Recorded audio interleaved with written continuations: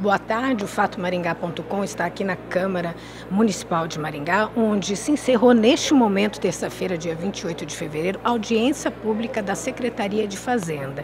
Eu estou com o secretário Orlando Chiqueto, que vai nos explicar a respeito dessa avaliação das metas fiscais do terceiro quadrimestre de 2022. Nesta audiência pública, o senhor relatou as receitas, que até o terceiro quadrimestre do ano passado foram de 2 bilhões e 181 milhões. E o senhor relatou também as despesas, os resultados que devem se enquadrar de acordo com a lei de responsabilidade fiscal. Qual é o quadro que se apresenta em perspectiva daquilo que foi previsto no início do ano passado?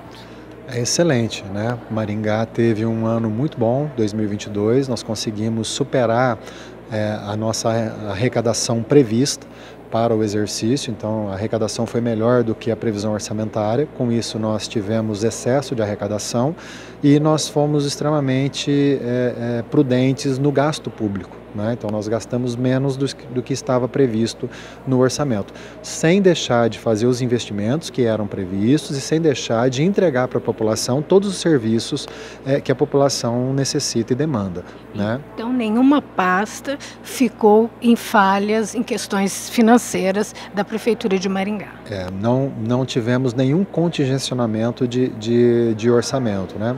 Geralmente, nos exercícios, quando a arrecadação não se comporta de maneira maneira adequada, nós contingenciamos o orçamento, ou seja, nós é, é, proibimos que o gasto seja executado para que não se gaste mais do que se arrecade. Né? O é. município nunca pode ter é, é, déficit, por isso que nós esse ano apresentamos superávit. Nós arrecadamos mais do que o esperado e gastamos dentro do programado. Nós percebemos né, que durante a audiência aqui ah, algumas indagações são muito mais de origem né, de, de categoria, vamos dizer, política do que orçamentária. Né? É, por exemplo, a questão é, ligada à prestação de conta nos bairros, né? por, por cada bairro, Maringá tem mais de 200 bairros, é, seria uma coisa praticamente impossível. E a gente vê também falar muito sobre a questão da Maringá Previdência, que é uma história né, que a gente sabe muito bem que está ligado a administrações passadas. Né? Vamos recapitular um pouco qual é essa situação e por que, que isso impacta tanto no orçamento e quanto tempo a gente leva para poder fazer esse, esse impacto sumir, porque Maringá passaria de praticamente de 49% para 36%, é isso que o senhor relatou aqui no final, né? Esse debate na Câmara Municipal, nessa audiência pública, é extremamente importante e salutar para que a gente possa qualificar o gasto público, né? demonstrar para a população como o recurso está sendo utilizado na nossa cidade. Então é, é fantástico a participação dos vereadores, participação da população para discutir o orçamento municipal, a execução orçamentária. Isso é extremamente salutar. Com relação à Maringá Previdência, nos meados de 2007, 2008, houve uma segregação de massas. Foram separados né, os servidores servidores que estavam contratados pelo município até aquela data dos servidores que seriam é, é, contratados a posteriori. Então criou-se para os novos servidores, a partir de 2008, o Fundo Previdenciário, que é um fundo superavitário, ele arrecada mais do que se gasta, ou seja, a contribuição dos servidores mais a contribuição patronal da prefeitura é suficiente para honrar os compromissos com pensões, aposentadorias desses servidores, ele é superavitário, se, se arrecada mais do que gasta, esse recurso fica aplicado mercado, para os investimentos futuros.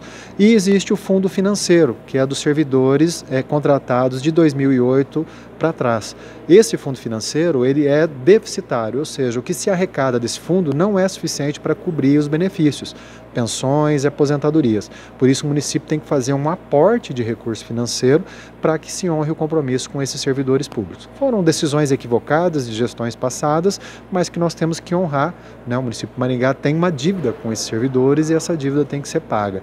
É, a discussão, né, como, como deve ser resolvido isso, enquanto esse, esse impasse se mantém e as discussões e decisões são extremamente difíceis, porque mexe na vida de muita gente, a gente continua honrando esse compromisso, ele faz parte da, da composição do índice de gasto com o pessoal e a gente trata isso com muita seriedade para continuar honrando é, é, é, essa dívida que Maringá tem com os servidores públicos municipais. A gente sabe né, que a contratação de pessoal através de concurso depende muito né, de estar dentro desses índices estabelecidos pelo Tribunal de Contas, no final das contas, é, é isso que que conta, né?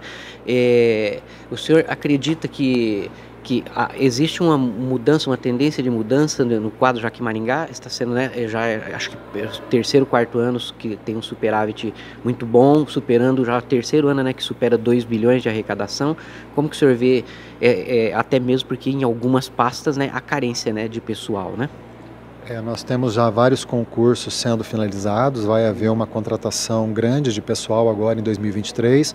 É, houve é, um desligamento grande nos últimos anos da Prefeitura de Maringá por conta de aposentadoria, falecimentos, é, exonerações. Né? Nós precisamos repor os quadros para garantir a continuidade dos serviços que, que são entregues para a população. Então, é, Maringá tem carência de contratação e nós garantimos no orçamento recursos suficientes para fazer a reposição da inflação para os servidores que já estão trabalhando no município, para fazer as novas contratações e para garantir o crescimento vegetativo da, da, folha de pagamento, né, das promoções, progressões, quinquênios que os servidores têm direito à medida que vão é, completando é, é, aniversário do, do, do, da, da, sua, da sua contratação na Prefeitura de Maringá.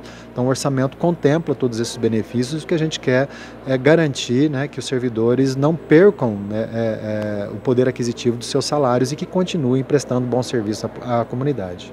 No passado, a questão orçamentária, né, em relação à questão política, acabava sendo muito secundária. Né? Com a lei de responsabilidade fiscal, as decisões políticas devem ser pautadas né, em cima justamente daquilo que a Fazenda determina, daquilo dos números que a Fazenda apresenta. É, exatamente, né? é muito importante que a gente não gaste mais do que arrecada. Uhum. Né? Isso traz para o município segurança, saúde financeira e condições para que a prefeitura atenda sempre as demandas da população. Então é extremamente importante né, o orçamento público ser feito com, com muita cautela, com muito rigor. A gente tem visto aqui né, que é, nós não superestimamos orçamentos, pelo contrário, nós temos sempre o excesso de arrecadação, a nossa arrecadação é melhor do que o, o que o orçamento contemplava, porque nós somos extremamente cautelosos né, é, para que a gente não gaste mais do que arrecade. Isso para o município é muito ruim, traz uma série de prejuízos e a gente não quer que isso aconteça. Pela manhã estivemos com o secretário Moçambani que falava né, da renúncia fiscal é, que a prefeitura introduz né, com, através do, do é, ISS tecnológico, através de renúncia fiscal. Né? É, a Fazenda consegue perceber o retorno desse, desses recursos? É extremamente importante para Maringá atrair empresas de tecnologia. É a indústria limpa, né? uma indústria que não tem chaminé, que não provoca a, a é, nenhuma agressão ao meio ambiente, que contrata mão de obra extremamente qualificada, muito bem remunerada e que depende pouco do serviço público. Então, por isso que Maringá tem crescido tanto na sua receita própria, na arrecadação do ISS, porque atrai empresas de grande é, potencial tecnológico. E o ISS tecnológico é uma ferramenta de atração desses, dessas empresas, né? E não só de atrair, mas reter essas empresas na nossa cidade.